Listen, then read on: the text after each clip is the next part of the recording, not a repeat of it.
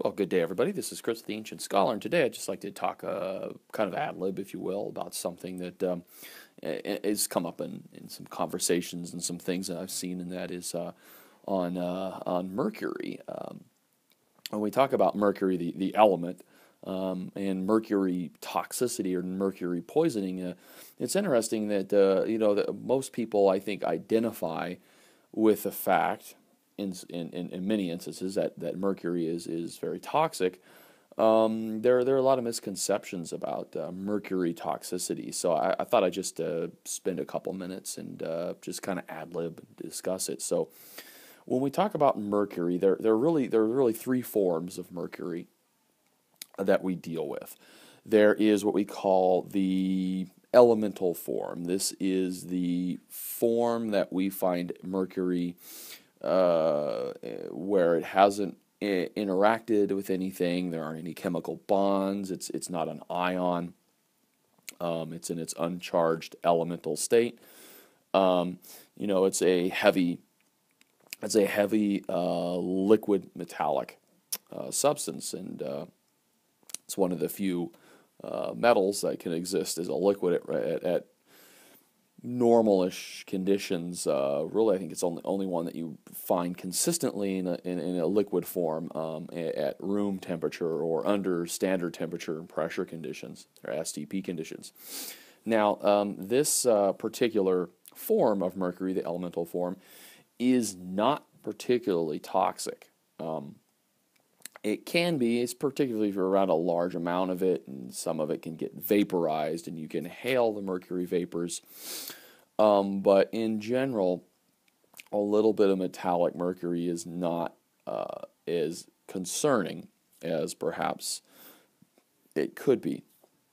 Um, in fact, uh, elemental mercury is kind of inert in a way, and um, the the the reasoning behind that, or what what goes into that, is actually kind of complex. It's not something I'm going to go into a whole lot of detail in a day, but um, has to do with something known as the the lanthanide contraction, and there are um, relativistic effects that that occur with the electrons because mercury is a, a pretty large atom in terms of how many electrons it has. It has a lot of electrons, and as the the electrons get further away from the nucleus, the electrons have more and more uh, energy, uh, kinetic energy. And so you might imagine that they are moving much faster. Their velocity is, is very, very high the further out you go. And, and we see this not only in mercury, but, but, but larger you know, atoms, uh, your transition metals. And um, this, this um, increase in velocity, of course, has some impact in that um, uh, when you look at hydrogen atoms, we don't really care as much about the, the velocity, of the electron. It's not really a big deal. Um, but the faster and faster these, these electrons go, the closer that they approach to the speed of light. And then you have um, special relativity that comes into play, and you have relativistic effects that occur, um, particularly in um, the amount of mass um, or what we call relativistic mass. I know some people would take issue with me using that term, but you know what? I, everybody knows what the hell I'm talking about, so I'm going to use it. I, I, and you and you can whatever whatever term you want to use for that, but you, you have you have that, and you also have contraction of atomic orbitals. Um, specifically, like six s orbitals. S orbitals can have have more penetration of probability density anyway. They're less screened. Um, they experience less screening, so they can really contract in. So you have this this mercury atom that has these these valence electrons that are 6s, and uh, what happens is, be, due to the relativistic attraction, those, those 6s electrons can, can kind of contract in, penetrate in, and they can have they, there's more electrostatic influence uh, with the nucleus, and so they're held in perhaps a bit more a bit more tightly, quote unquote, if you will, than, than you might expect. And that kind of makes mercury doesn't have a whole lot of chemical reactivity if you don't do anything to it. Um, you know, it's just there and you're not interacting with it particularly. Um, it's not going to do much. And, and that's actually why mercury can be a liquid because the mercury atoms don't experience a whole lot of, of attraction, if you will. Um, they're a lot like your your inert gases, you know, helium and, and neon, in that those gases don't experience um, any significant uh, significant forces um, between them. You know, a lot of gases don't, but there you go. Um, of course, there there certainly are some forces in mercury, and if you cool mercury down, um, uh, it'll solidify in, into a solid at, at pretty pretty reasonable temp- temperatures that are pretty easy to uh, to get to under normal conditions. Okay, so that's that's elemental mercury. That the toxicities associated with elemental mercury aren't you know horrible. There there are some toxicities, and certainly repeated exposure, whatnot, can be kind of problematic. The real problem when it comes to mercury toxicity, the real problems come into the two other forms.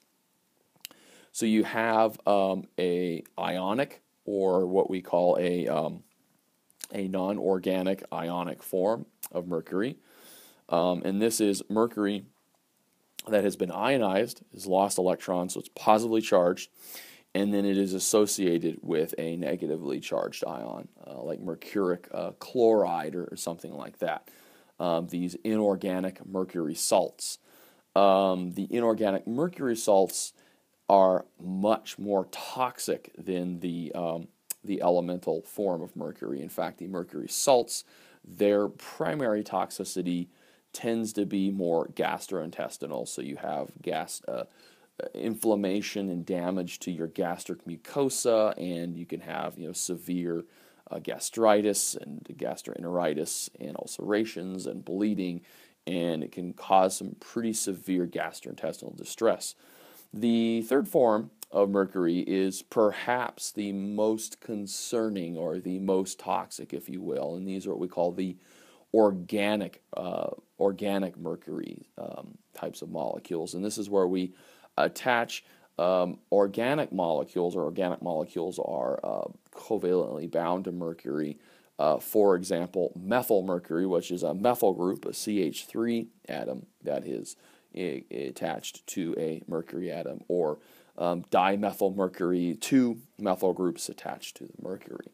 Um, the organomercuric compounds or the organic mercury compounds are highly toxic. There uh, is significant toxicity associated with these guys, and because you have um, these methyl groups in a lot of cases, uh, the methyl groups are really good at penetrating lipid membranes, particularly so it can cross the blood brain barrier.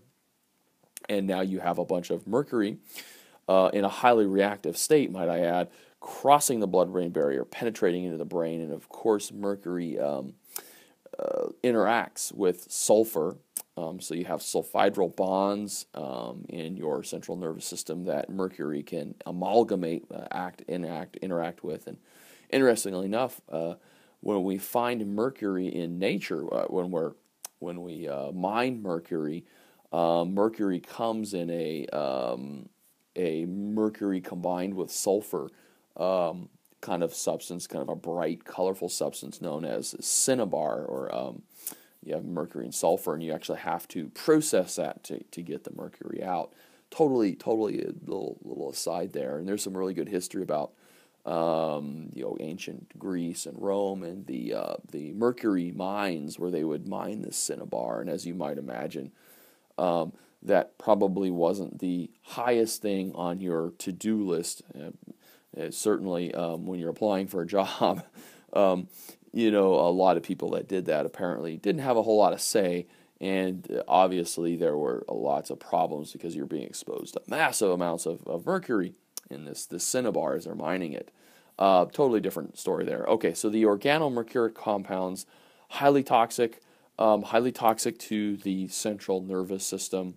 Um, there have been some notable cases. There was a, a disaster that happened in uh, Japan, uh, in a little bay there, a little bay of Japan, and um, mercury got, uh, elemental mercury got dumped out into the ocean that elemental mercury was processed by um, small organisms that were in the ocean, and those small organisms metabolized the mercury into a, its organic form, uh, methyl mercury, and then the fishermen would pull fish and creatures out of the water that had been had very high levels of methyl mercury, and then several people uh, ended up, many, many people actually ended up uh, having methyl mercury poisoning and they severe neurological, devastating neurological consequences. It was a really, really bad deal. Um, we had a researcher actually at Duke University. Um, this is back in the late 90s. Um, she was really a, a well known um, heavy metal chemist, I believe, working uh, with like uh, transition metals, lanthanides, actinides. I, I, think I think she was into heavy metals, and anyway, she had um, uh, was working with dimethyl mercury, and they used to use dimethyl mercury to calibrate certain certain equipment because um, I don't know exactly what she was cal like maybe a mass spec or something like that, um, where where the, you it gave pretty reliable pretty reliable results and it was a really good uh, control standard. So I think she was calibrating an instrument like mass spec or um, some sort of analytical um, process that she was doing, and she uh, was using a pipette, I believe, and and ended up getting a little drop, a uh, tiny little drop of methyl mercury on her. She was wearing gloves at the time, and um, ended up cleaning it up, and uh, it wasn't a big deal. And then a couple months later, she started having these serious neurological manifestations, and, and, and, a few months after that, she ended up uh, dying um, a pretty pretty terrible death from this methyl mercury, just a little drop. Um, and of course, that the, there were big changes, and we don't, uh, to my knowledge, we're not using uh, dimethyl mercury to calibrate instruments anymore. And uh, we found out that it was dimethyl mercury was able to penetrate a lot of different protective um, gloves and materials. So there you have it. Okay, so quick, down and dirty. Um, you have the three different types of mercury. Have elemental, you have your inorganic salts, and then your organic uh, mercury compounds. And uh, of, of the three, the metallic form tends to be significantly less toxic. There are lots of reports out there of people drinking mercury, injecting mercury into themselves, and going on and surviving and, and, doing okay with, without long term consequences. Um, when it comes to the uh, salts, the inorganic salts, you typically have a gastrointestinal, is a gastrointestinal syndrome, um, severe gastrointestinal syndrome in some cases. And then with the um, organic mercury, it tends to be devastating neurological, um, devastating neurological consequences. And of course, uh, mercury can have teratogenic effects. So um, obviously, it can be very harmful to the, the fetus or developing fetus. Okay, so that's just a quick down and dirty thing I wanted to throw out there real quick about about mercury um, and mercury toxicity, and you know nothing real de- in depth or detailed today. Just kind of a kind of a quick BS session, if you will. Okay, guys, as always, thanks for hanging in there.